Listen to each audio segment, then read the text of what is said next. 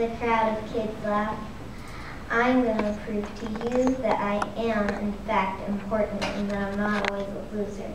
I say confidently, Oh, you are, are you? The twins say with a grin. I gulp hard. Ding, ding, ding, rings the bell. Come inside, it's lunchtime, chirps Miss Merriweather happily again. Phew, that was a close one.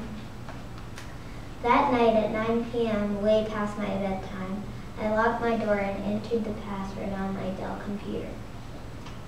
I clicked on the Google button and typed important things to be heroes for. And that exact moment is when I spotted the thing I'm gonna do. Save people with cancer. Cure cancer. I was thrilled. Now it's the narrator. Now I know what you're thinking. He can't cure cancer, he's just a little boy. But this little boy has a special blood type since he has three belly buttons.